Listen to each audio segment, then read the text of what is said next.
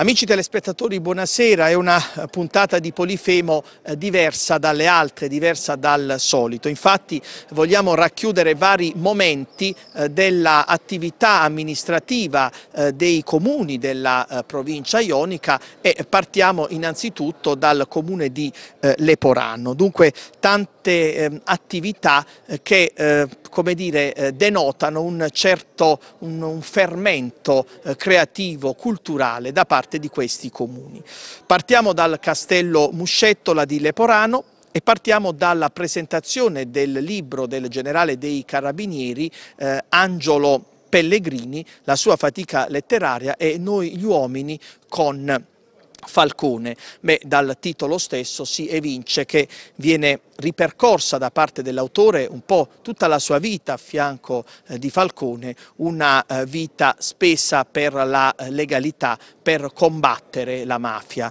Un momento particolare per la collettività leporanese e non solo, perché sentire dalla viva voce dell'autore quei momenti bui, quei momenti difficili, beh, rappresenta davvero un, un momento importante, una pietra miliare nella crescita verso la legalità di tutta la comunità ionica.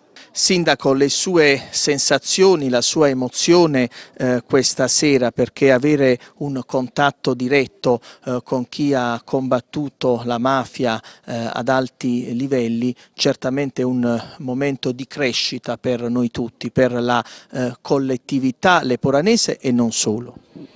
Beh, ehm, la serata, questa, la serata che sta per iniziare, dedicata chiaramente alla presentazione del libro del generale Pellegrini, la presenza del generale Pellegrini, non può farci che onore e piacere ed è un lustro per la nostra Leporano. E noi abbiamo iniziato e abbiamo proseguito la nostra campagna elettorale avendo come simbolo della nostra sezione elettorale le due figure, eh, le punte di diamante in pratica della lotta alla, alla mafia, cioè Falcone e Borsellino, quindi non avrei immaginato di avere qui una persona validissima del pool che eh, alla presentazione del libro, quindi per noi è importantissimo questa presenza e l'accogliamo a braccia aperte con il cuore veramente verso chi è contento, verso chi in effetti ha sempre combattuto la mafia e noi siamo a fianco di queste persone. Ecco Sindaco, facciamo un po' la genesi, la ricostruzione di questo incontro, come è nata l'idea, eh, come si è sviluppata, indubbiamente eh, fissare un incontro, un appuntamento come quello odierno non è stato facile, ma la volontà, eh, come dire, ha avuto la meglio su tutto. Beh, non è stato assolutamente facile, però grazie alla, agli amici, grazie alle persone giuste siamo riusciti chiaramente a eh, creare questo appuntamento per noi importantissimo e non è soltanto l'unico incontro ma sarà una, il primo di una serie di incontri proprio eh, legati alla, alla lotta contro, la mafia, contro le mafie. Vice Sindaco Lotta, l'amministrazione comunale ha voluto dare rilievo a questo evento, all'incontro con l'autore eh, per presentare appunto noi gli uomini di eh, Falcone. Un incontro con Angelo eh, Pellegrini che ha una funzione innanzitutto educativa e di riflessione, una riflessione per difendere sempre la cultura della legalità e per combattere ogni forma di sopraffazione mafiosa. Sì, eh, noi siamo orgogliosi questa sera di avere qui eh, a Angelo Pellegrini, eh, diciamo che dopo eh, aver avuto dei contatti con eh, l'amico ehm, Semeraro eh, abbiamo ritenuto di fare questa serata. Noi siamo per la legalità, e Leporano è per la legalità e questo è una dimostrazione eh, di quanto Leporano sia sempre presente sul territorio. Facevo riferimento alla funzione educativa, soprattutto eh, verso i più giovani, perché purtroppo oggi nella società odierna c'è la eh, cultura dell'arricchimento facile attraverso l'illegalità e invece proprio eh, questo è il male da combattere. Noi abbiamo basato proprio la nostra campagna elettorale sulla legalità ed è questo che noi vogliamo trasmettere ai nostri giovani, la legalità in tutti i sensi. Francesco Fusco, consigliere comunale di Leporano delegato alla cultura. Beh, la cultura è importante in questo caso, una cultura di legalità, eh, una cultura di rispetto delle regole, una eh, cultura eh, che deve combattere le infiltrazioni mafiose e le vessazioni mafiose. In questo senso, in questa direzione, l'iniziativa di questa sera. Sicuramente è anche a prescindere da quello che è il ruolo all'interno dell'amministrazione, più che altro da una persona nata negli anni 70 e che bene o male si è trovata a vivere questi momenti, a, ad averne contezza immediata dai telegiornali. Ritengo che la cultura oggi debba anche promuovere soprattutto alle classi più, eh, più giovani, cioè alle nuove generazioni, questo momento storico italiano, momento eh, difficile, assolutamente difficile perché non c'è solo la lotta alla mafia, non c'è solo la Sicilia, c'era anche il terrorismo di matrice eh, rossa e nera, c'erano anche il periodo praticamente dei sequestri di persona, tanto in Calabria quanto all'anonima sarda. È stato un periodo difficile, io eh, da bambino, perché all'epoca ero bambino, ragazzino, li ho, vissuti, li ho vissuti sulla mia pelle. È giusto oggi che la legalità si trasmetta anche facendo conoscere questi periodi e gli uomini che hanno contrastato i problemi del nostro Stato, della nostra società in quel periodo alle nuove generazioni. Noi gli uomini di Falcone con Angelo eh, Pellegrini, beh una fatica eh, letteraria eh, da cui trasuda per così dire un grande impegno morale, il coronamento di tante battaglie vissute sul, sul campo. Come è nata questa idea? L'idea è nata da qualche anno, già pensavo che era opportuno raccontare, specialmente ai giovani, la storia d'Italia, di questa giovane repubblica, di una repubblica che ha 70 anni, di una storia travagliata, di alcuni anni che hanno contraddistinto addirittura un attacco allo Stato da parte della mafia.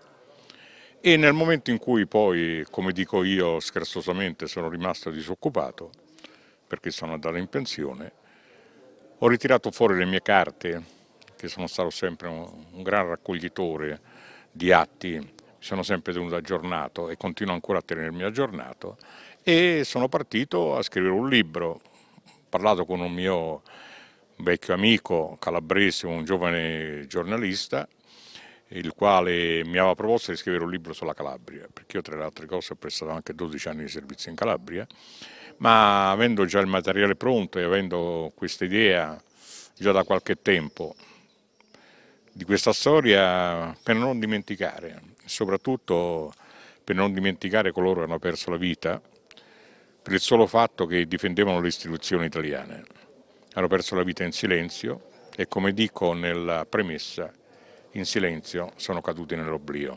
Il ricordo del rapporto diretto tra lei e Falcone, qualche aneddoto, qualche momento particolare che eh, ci possa meglio illuminare proprio sulla eh, valenza dell'uomo Falcone? Al di là di qualche aneddoto che io riporto anche nel libro, come quello dell'uso della penna stilografica, del, del, fatto che ogni tanto alternava alle sue sigarette un mezzo sigaro, così come facevo io, e è stata una scuola di vita, una scuola, io dico che a Palermo con Falcone ho frequentato l'università dell'investigazione, una scuola di vita perché Falcone era un uomo eccezionale, di una grande dirittura morale, di una grande capacità intellettuale, capace di condensare ad esempio in tre righe un rapporto di quattro pagine.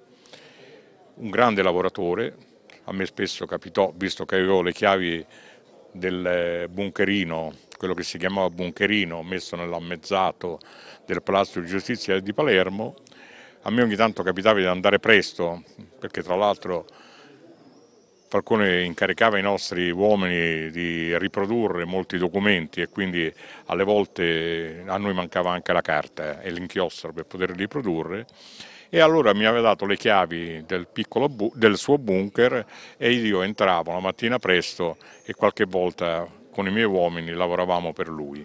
E molto spesso da lontano nel suo ufficio vedevo la luce accesa, magari si trattava delle sei, sei e mezza di mattina, e trovavo Falcone. E, e dottore, anzi come lo chiamavo io, giudice, già a quest'ora lei in ufficio, ah, io ho tanto lavoro, mi alzo alle 5 e alle 6 e un quarto, alle 6 e mezza già sono al lavoro, perché ho tanto lavoro da fare. Eh, ha avvertito mai in Falcone il timore di morire, di essere ucciso? Ma Falcone non lo manifestava, io ero certo che lui avesse questo timore, però come facevamo tutti noi evitavamo di manifestarlo per non essere presi dalla paura. E ricordo che una volta ci fu un rumore sospetto e Falcone quasi saltò dalla sedia. Certo, era in tensione perché sapeva benissimo che era l'uomo più esposto di Palermo. Ecco, si è parlato spesso di eh, organi deviati dello Stato, di istituzioni deviate. La sua versione? Ma la mia versione è questa, io ritengo che eh, molti... Certe omicidi eh, lasciano anche dei, dei, dubbi circa appunto eh, certe eh, situazioni, come dire, cupe eh, in cui organi dello Stato potrebbero aver tramato. Ma guardi, al di là del fatto che poi le leggende metropolitane prendono vita e in ogni, in ogni fatto, anche il più chiaro, si cerca sempre di scavare qualcosa che non esiste.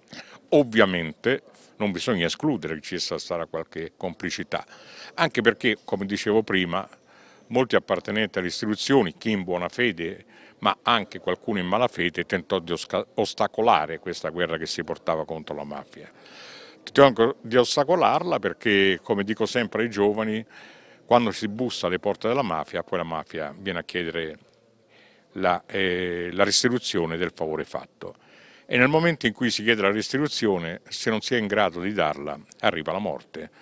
Abbiamo come esempio Lima, ad esempio, che eh, aveva la possibilità di raccogliere tanti voti sia dagli imprenditori legati alla mafia sia dai mafiosi stessi e poi alla fine quando non riuscì a bloccare il maxi processo venne ucciso.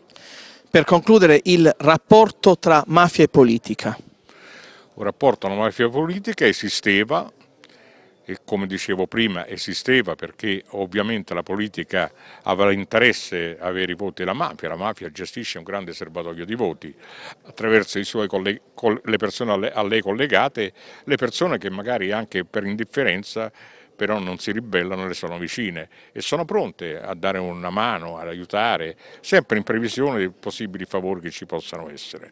Quindi un contatto c'era, noi continuiamo a vedere che purtroppo ancora esistono questi contatti, molti probabilmente a minor livello di prima e spero che questi contatti terminino. Io dico sempre ai giovani, voi avete in mano uno strumento eccezionale per cambiare le cose, avete quella matita con cui da 18 anni in poi mettete una croce vicino a un nome, scegliete i nomi delle persone per bene. Roberto Benedetto, eh, magistrato, Beh, stiamo ascoltando varie personalità, vari soggetti eh, impegnati nella difesa della legalità contro la mafia. Beh, è opportuno anche eh, ascoltare proprio il parere del, del magistrato come si sta eh, combattendo oggi il fenomeno mafioso, tanto impegno ma purtroppo i fenomeni tendono a reiterarsi, a ripetersi, evidentemente è un male difficile da sradicare. Sì, eh, diciamo che la legislazione attuale ha degli strumenti che magari negli anni Ottanta non c'erano per le persone come il generale Pellegrini che oggi è qui con noi.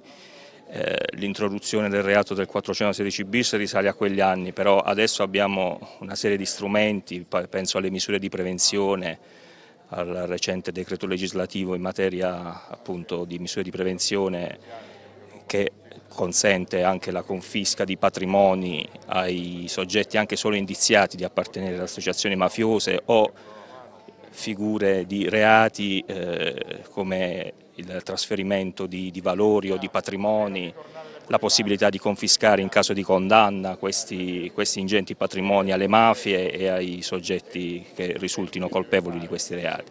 Gli strumenti ci sono, la direzione investigativa antimafia, la direzione nazionale antimafia per il coordinamento delle indagini, quindi sotto questo aspetto mi sentirei di dire che si sono fatti dei passi in avanti. Il problema è un problema che...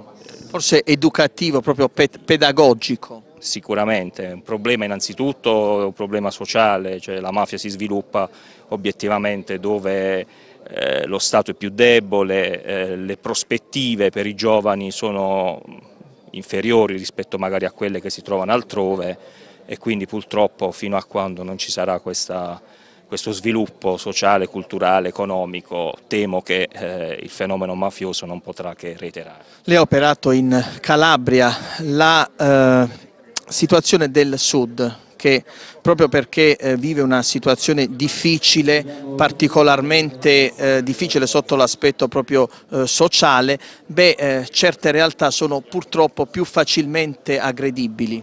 Sicuramente è così, purtroppo la Calabria la conosciamo purtroppo per il fenomeno dell'andrangheta, laddove invece io che sono, ho vissuto lì ho potuto invece apprezzare bellezze straordinarie. Che valori morali, valori della, morali gente. della gente, l'ospitalità, anche la cultura di eh, personaggi diciamo, poco noti ma che eh, appunto mi hanno insegnato tanto. Il problema è che purtroppo quelle regioni vivono questa, questo cancro forse inestirpabile.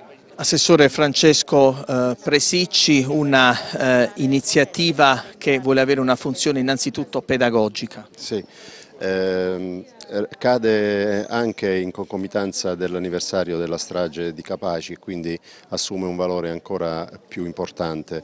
Eh, è una bella iniziativa che eh, abbiamo voluto portare anche all'Eporano con la presentazione del libro Noi uomini di Falcone scritto dalla generale Pellegrini che questa sera ci onora della sua presenza. Sì, una funzione pedagogica che secondo me andrebbe seguita per trasmettere questi valori eh, a più gente possibile, magari eh, un'iniziativa da portare sistematicamente, con continuità nelle scuole.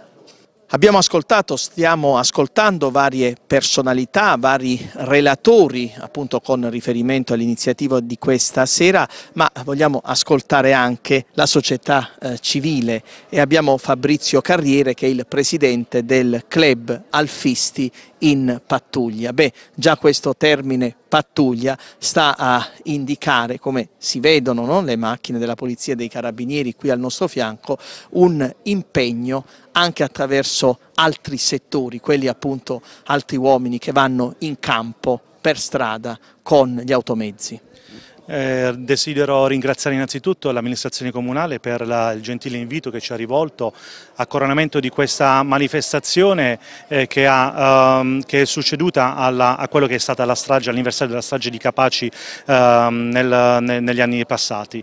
Eh, queste sono le testimonianze, qui abbiamo un'alfetta eh, carabinieri, poi abbiamo venuti anche con una Giulietta polizia, eh, sono delle testimonianze, un pezzo di storia di quello che erano le auto delle forze dell'ordine che a Capaci e anche durante gli anni a venire sono state a portare um, le forze dell'ordine a contrastare la mafia. Eh, facevano da scorta, facevano da autocivetta, sono state auto impiegate ehm, nel passato e hanno segnato per tutti quanti noi un pezzo di storia.